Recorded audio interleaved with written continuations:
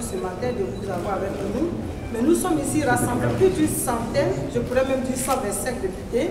Certains ne sont pas présents, mais nous sommes là pour vous dire que nous protestons vigoureusement avec la dernière énergie contre ce qui est en train de se passer aujourd'hui dans, dans l'hémicycle, dans la maison du peuple.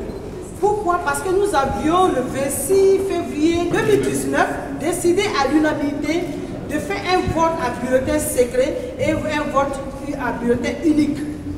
Un vote secret à bulletin unique.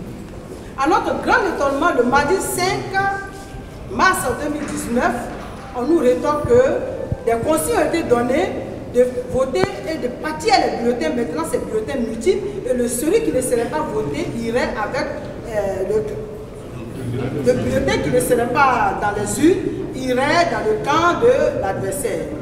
Donc nous ne sommes pas d'accord parce que la Côte d'Ivoire, il y a eu assez de morts. Nous sommes partis pendant 30 ans pour exiger qu'il y ait la transparence dans la Côte d'Ivoire. Nous ne pouvons pas accepter au jour d'aujourd'hui, à la troisième république, dans la troisième république, avec la nouvelle constitution que nous avons massivement votée nous-mêmes, que ce soit violé et que nous accordons du crédit à ce brigandage politique.